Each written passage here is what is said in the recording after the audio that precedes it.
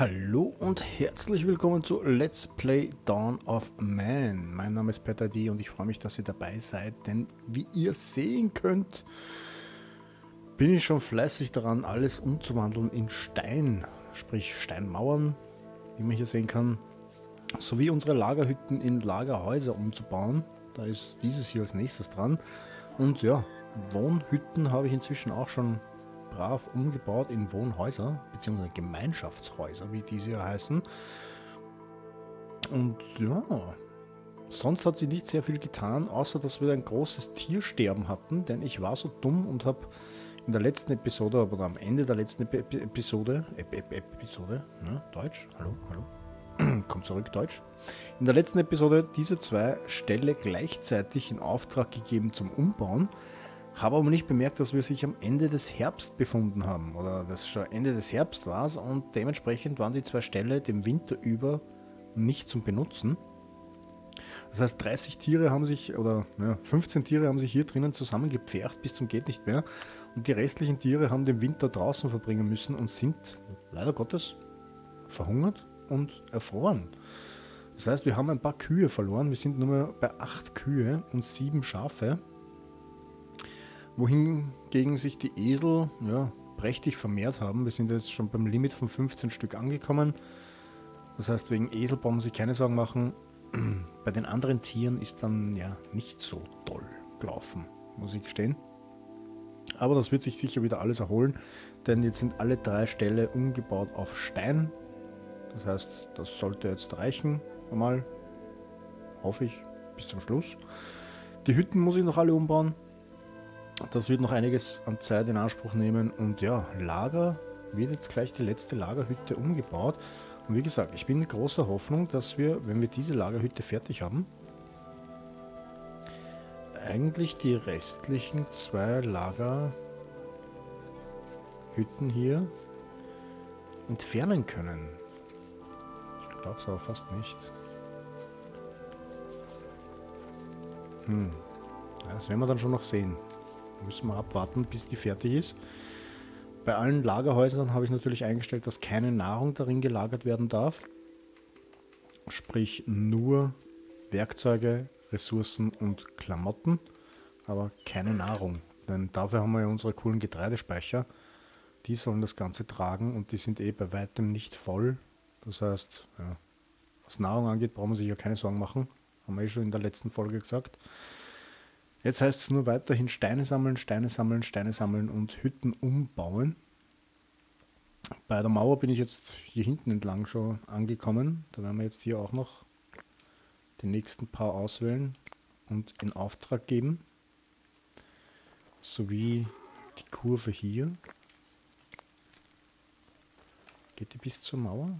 Ah, geht die bis zum Tor? Ja, die geht genau bis zum Tor, passt. Das heißt, wir haben dann nur mehr da hinten das Mauerstück was am Felsen entlang geht und das ist nicht so enorm wichtig, sage ich jetzt einmal. Ich habe mich auch hier von der altmodischen Werkstatt verabschiedet, denn inzwischen sammeln wir sehr, sehr gut äh, Zinnerz. Ähm, Kupfer leider nicht so sehr, weil wir ja nur eine Mine haben. Also das Kupfer hier, das ist auch wahrscheinlich bald wieder weg. Aber dadurch, dass wir zwei Zinnminen haben, sammeln wir momentan Zinn sehr, sehr gut. Hier oben und noch irgendwo, ich weiß jetzt nicht, wo die zweite ist. Aber wie man es an die Ressourcen sehen kann, wir haben 55 mal Zinnerz und 28 Bronzebarren, die aus dem Zinn gewonnen werden.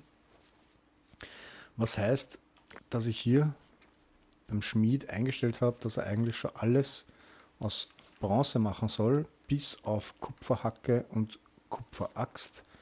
Die können wir einstweilen noch mit Kupfer machen, solange ich Kupferbarren und eben noch ein bisschen Kupfererz habe.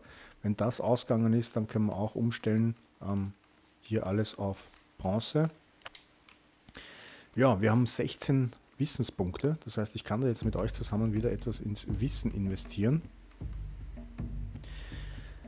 da stellt sich jetzt für mich natürlich die Frage, was machen wir da? Ähm, am interessantesten wäre wahrscheinlich eben die Schwertherstellung, dass wir anfangen können, Schwerter und Schilder zu produzieren, um uns gegen ja, eventuelle Angriffe besser verteidigen zu können. Alternativ wäre das Braun nicht uninteressant, dafür müsste ich aber dann wieder ein eigenes Roggenfeld ähm, anlegen, wo ich nicht wüsste, wo ich das hingeben sollte. Netzherstellung für die Fischreuße, ja, klingt interessant, ist aber jetzt nicht lebensnotwendig. Ähm, Pferdedomestizierung kann ruhig noch ein bisschen warten, weil wir haben aktuell noch genug Esel. Und die Steinschneidekunst wäre halt interessant für Statue und komplexer Megalithismus, wobei der kommt eben erst im nächsten. Ähm, ich würde sagen, das kommt als zweites dran. Priorität hat jetzt auf jeden Fall mal die Schwertherstellung. Das heißt, wir werden die freischalten. Und werden jetzt auch gleich beim Metallschmied in Auftrag geben, dass dieser bitte Bronzeschwerter herstellen soll. Dann schauen wir sich nochmal kurz die Limits an. Ähm, Schwerter 75%, 50, 75, 50, 100, die Messer können wir 75% der Bevölkerung runterstellen, die Speere können wir, lassen wir auf 100% würde ich fast sagen. Und die Schwerter ebenfalls auf 75%. Damit dann wirklich jeder auch ähm, genug Waffen haben kann. Oder tragen kann. So, jetzt ist das noch nicht ganz fertig. Da werden wir kurz vorspulen, dass das mal fertig wird da mit dem Abbau. So, stellen da jetzt wieder Priorität hoch, dass das gleich als nächstes gemacht wird. Und dann schauen wir, wo der Händler ist. Ja, hier ist ein mega Aufkommen. Ich glaube, ich werde hier auch ein bisschen Platz machen noch. Weil mich irritiert das da ordentlich. Ich würde mal sagen, da das Lagerfeuer weg damit. Der Brunnen kann auch weg. Wir haben genug Brunnen überall anders, woanders stehen. Wir haben hier einen Brunnen. Äh, wir haben hier einen Brunnen. Und wir haben da drüben auch noch irgendwo einen Brunnen, genau. Das heißt, die zwei Sachen können weg. Die Gerber werde ich dann wahrscheinlich auch entfernen. Denn ja, Leder und das Ganze brauchen wir nicht mehr so häufig. Damit wir hier ein bisschen Platz machen, weil hier kommt immer der Händler an und hier ist immer so ein Knotenpunkt, wo extrem viel los ist, was man gar nicht taugt. Das kann man auch entfernen. So. Das Lagerfeuer könnte man theoretisch auch entfernen. Denn ja, man kann eh, jeder kann in seiner Hütte Nahrung produzieren. Im schlimmsten Fall kann ich hier dann noch ein bisschen was aufbauen. Aber das schaue ich mir noch an. Zuerst mal jetzt zurück zum Händler. Lieber Händler, was hast du? Esel? Nee, brauchen wir nicht. Sonst hast du gar nichts, ähm, außer hm, Kupfererz. Das werden wir sich vielleicht nehmen. Und das Zinnerz, warum nicht? Dafür kriegt er von uns wieder einen Knochenspeer, einen Feuersteinspeer, eine Angel, warum nicht? Und den Rest werden wir ihn hier in Feuersteinmessern geben. Denn wie gesagt, wir bauen inzwischen eh schon wieder alles nur mehr aus Kupfer und Bronze. Die Hautoutfits kann ich auch irgendwann einmal loswerden. Da wäre es vielleicht gar nicht so interessant, wenn wir sagen, wir nehmen uns vielleicht ein, zwei Kupfersicheln. Dann wären wir bei 53. Wenn ich ihm da alle gebe, sind wir bei 51, okay. Das heißt, er kriegt noch irgendwas, was den Wert von 1 hat, mal 2, wie zum Beispiel Stroh. Ja, warum nicht? Stroh. So. Wow, ja, das gefällt da wieder, gell? Gut, das heißt, wir haben da jetzt ein bisschen Werkzeug bekommen, ein bisschen Erz, mit dem wir wieder was anfangen können. Hier wird brav alles abmontiert. Die Gerber, wo soll man denn die Gerber hinstellen? Die könnte ich theoretisch auch hier herstellen. Ähm, wobei ich mir den Platz eigentlich reservieren wollte dann für den Stahlschmied. Der kommt ja auch noch irgendwann. Wenn wir schauen unter Produktion, Brauerei, okay, Wassermühle, Ofen gibt es noch. Und bei der Metallurgie kommt dann noch der normale Schmied. Eisenschmelzen, okay. Die Rennfeueröfen, das ist kein Problem, weil da können wir diese dann hier upgraden zu Rennfeueröfen. Da gibt es nämlich hier schon die Möglichkeit, das sieht man hier schön, da, da, da, verbessern, aber geht noch nicht. Ja, Brauerei, beziehungsweise Schmied. Hm, hm, hm. Andererseits wiederum, wenn ich dann die Wasserkraft nutze mit einer Wassermühle, brauche ich diese Mörser nicht mehr. Das heißt, ich werde da jetzt einfach mal ganz frech ähm, diese zwei Mörser entfernen und stattdessen dann einfach einen Gerber aufstellen. Hm, warum nicht? Gut, das heißt, ich kann mich aber von diesen Gerbern auch inzwischen verabschieden. So. Die Hütte ist jetzt auch endlich fertig. Gut. Da würde ich gerne einstellen, kein... Ah, nein, das war ja die. Die ist noch gar nicht fertig. Sapalot. Was geht ab, Leute? Gibt es ein bisschen Gas? IA, IA.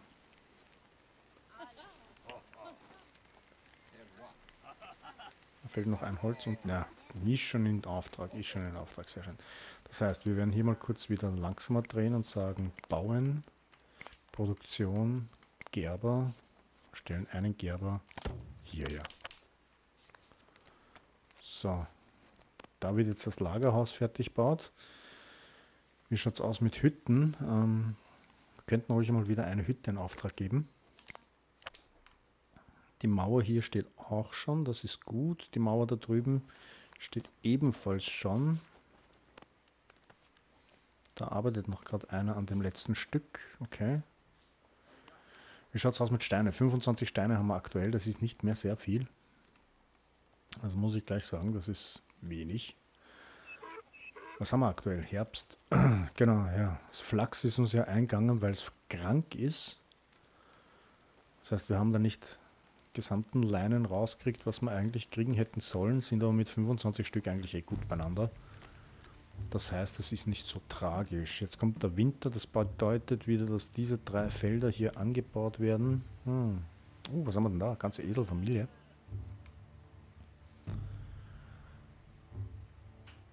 Glaube, ich werde auch mal wieder ein Arbeitsgebiet platzieren und zwar jagen.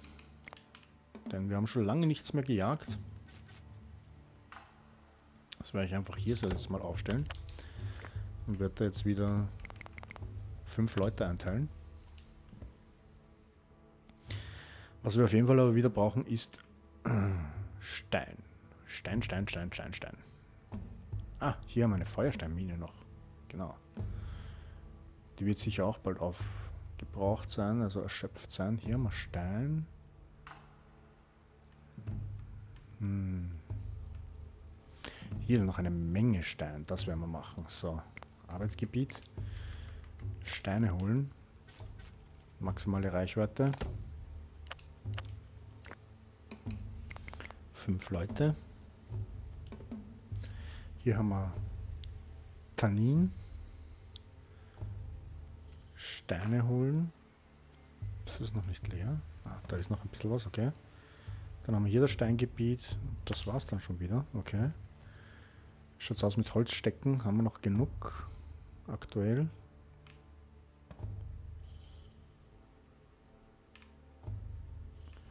Ja, es hat jetzt nicht so die Eile. Unser cooler Birnenbaum, ja, der rennt auch ganz gut. Oh no, da wird gleich ein Esel geschlachtet. Oder auch nicht, okay. Was machst du denn da, kleines Mädchen? Dreck spielen? Gut. Oh, da hängt schon wieder mal Fleisch seit langem, okay. Auch nicht schlecht. So, jetzt haben wir da alle Lagerhütten. Die ist auch gleich fertig. Ähm, warum ist da eigentlich Wasser drinnen? Achso, du bist nicht eingestellt gewesen auf keine Nahrung. Du bist aber eingestellt auf nicht keine Nahrung, okay. Dennoch werden wir mal sagen, ähm, so, jetzt bist du fertig. Das heißt, hier einstellen, keine Nahrung. Dann können wir sagen, dich hier bitte... Wobei, schauen wir mal noch die anderen. Das ist halbwegs voll, das ist fast voll, fast voll. Aber in den Hütten kann ja auch einiges gelagert werden. Okay, da ist eh einiges drinnen, sehe ich gerade. Überall neue Bewohner, zwei Stück. Wir nähern uns der 100er Marke, das ist auch was Cooles, das freut mich sehr. Schlitten ist nicht mehr brauchbar, okay. Ah, die Überlegung ist natürlich, ob ich jetzt die zwei wirklich auflösen soll. Ähm, Ich würde mal fast sagen, ich lasse sie vorerst noch stehen. Und zwar in der Hüttenvariante, nicht in der Lagerhausvariante. Also ich tue die nicht upgraden, sondern ich lasse die jetzt so, wie sie sind, als Lagerhütten stehen. Denn wir müssen bedenken, wenn wir mehr Bewohner haben, braucht man natürlich auch wieder mehr Ressourcen, mehr Waffen, mehr Kleidung und, und, und. Und das braucht dann wahrscheinlich eh wieder mehr Platz und das wird... Ja, dann kann ich es eigentlich gleich upgraden. Pfeif drauf. So, machen wir das. Upgrade. Gut, diese Hütte ist auch bald fertig. Da drüben müssen die Felder bestellt werden. Okay, das sind eh eine Menge Leute. Das gefällt mir. Ähm, dich kann man upgraden. Ich muss jetzt nur aufpassen, dass ich nicht zu viele Hütten gleichzeitig upgrade, weil sonst haben ein paar Leute keinen Schlafplatz, weil jetzt sind wir schon wieder dicht an dieser Grenze dran. Und wir werden es auch so machen, bauen, Wohnhaus, Gemeinschaftshaus und eins hier dazu. Da werden wir die Priorität nach oben schrauben, dass das ein bisschen schneller geht, genauso wie, ja, das ist noch nicht fertig mit dem Abbau. Komm, Gas. Jawohl, jetzt. So, Priorität hoch.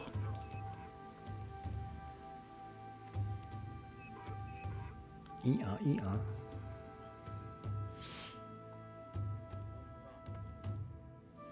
Das heißt, hier haben wir dann wieder ein Gemeinschaftshaus, hier kommt eins dazu und das, wo ist es hier? Das wird jetzt upgradet, auch zu einem Gemeinschaftshaus.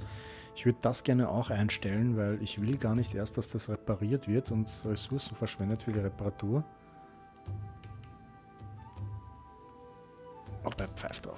Drauf. Lassen wir das so. Ähm, Sturm wegdrücken. Ja. Schaut alles gut aus. Wir produzieren auch schon brav Schwerter.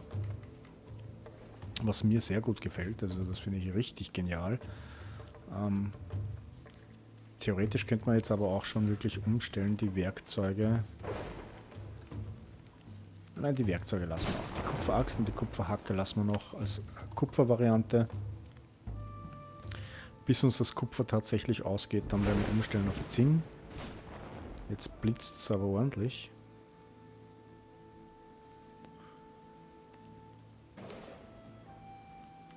Und dann spulen wir einfach wieder ein wenig vor. Alter Schwede, jetzt wird es aber hell.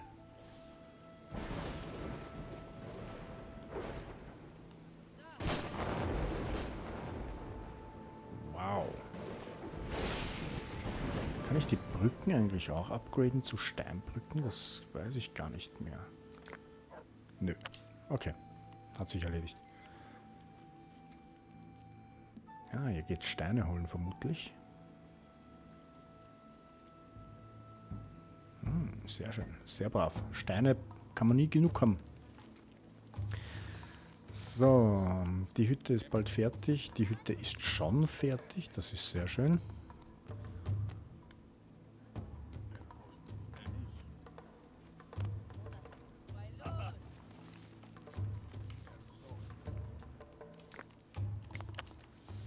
Finde es das cool, dass die Hütten, die was im Winter gebaut werden, keinen Schnee drauf liegen haben. Im Vergleich zu denen, die was Anfang des Winters schon gestanden sind. Hm, auch cool.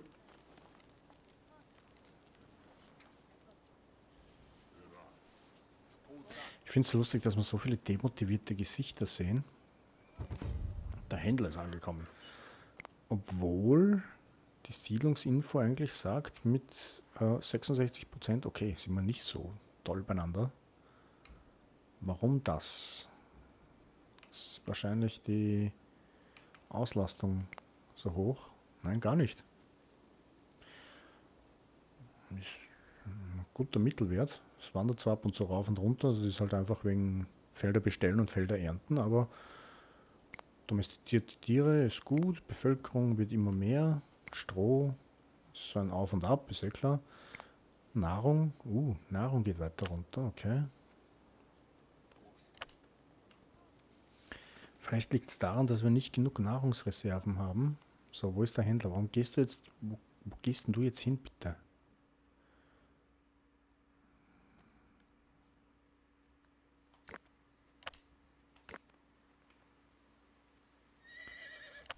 Jetzt steht er da, okay, von mir aus. So, was hast denn du? Ähm,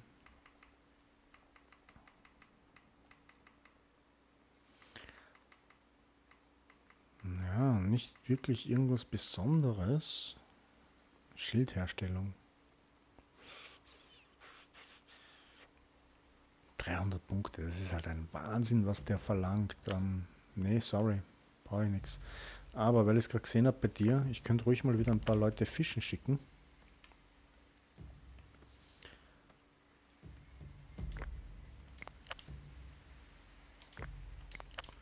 Einfach um den Nahrungsvorrat wieder ein bisschen nach oben zu pushen.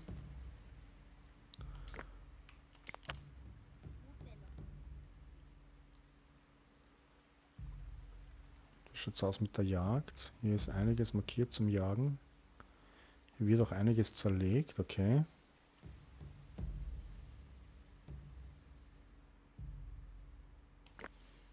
Den markiere ich jetzt manuell.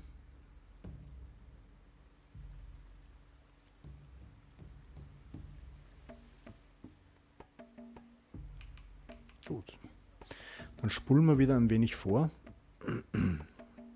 In der Hoffnung, dass wir jetzt den Winter noch gut überstehen und wieder einen Wissenspunkt bekommen. Ähm, Steine holen. Okay, das wird wahrscheinlich da hier oben das sein. Ja, genau. Fahne ist schon weg.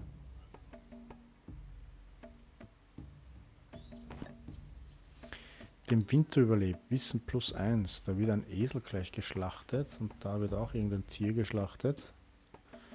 Da auch. Schon wieder großes Tiersterben angesagt. Verlieren da gleich ein paar Kühe. Und die Felder müssen wieder bestellt werden. Okay, also es steht schon wieder einiges an Arbeit an. Ah, die Lagerhütte ist fertig, da wir auch gleich einstellen. Keine Nahrung, bitte. Da haben wir jetzt eine Menge Fleisch hängen, das ist gut. Ich glaube, ich werde sicherheitshalber vielleicht wieder ein paar Lagerfeuer noch aufbauen. Einfach um die Leute ein bisschen zu beruhigen. Zu sagen, ja, wir haben eh Feuerstellen, wo ihr Sachen kochen könnt. Obwohl ihr es in der Hütte machen könntet. Aber ihr seid ja alle faul. Wollt das im Freien machen, à la Barbecue oder so. Also machen wir das auch. Jetzt möchte ich nur schauen, wo kriegen wir das Lagerfeuer unter. Hier kriegen wir noch eins unter und hier kriegen wir auch noch eins unter. So. Dann haben wir wieder drei Lagerfeuer. Sollten wieder alle glücklich sein. Die Hütte ist auch gleich fertig, war das Gemeinschaftshaus. Und ja, ein neues Jahr beginnt. Bauwerk errichtet, Gemeinschaftshaus mal 10 Wissen plus 1. Sensationell. Das heißt, wir werden jetzt dann bald oder spätestens nächste Episode freischalten können die Steinschneidekunst und werden uns dann wieder beschäftigen müssen mit Megalithen suchen und ähm, abtransportieren. Ich glaube, da liegt eh auch ein, zwei, ne? es sind eh auch ein paar in der Nähe. Gut, das schauen wir sich dann aber alles in der nächsten Episode an. Ich werde mich an der Stelle jetzt hier wieder von euch verabschieden und sage wie immer Danke fürs Zuschauen und bis zum nächsten Mal.